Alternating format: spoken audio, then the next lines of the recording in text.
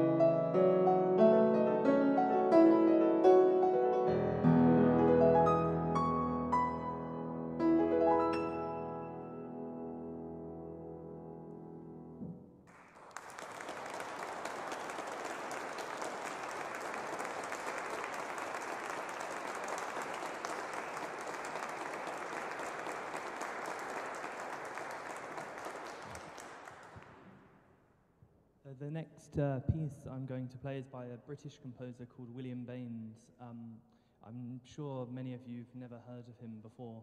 Um, he died when he was 23 in 1922, and he was a Yorkshireman um, with big ambitions to compose and travel the world as a musician, but sadly he died at a very young age. Um, the pieces that I've got today are his seven preludes, um, and I think these are some of his best works for the piano, for sure.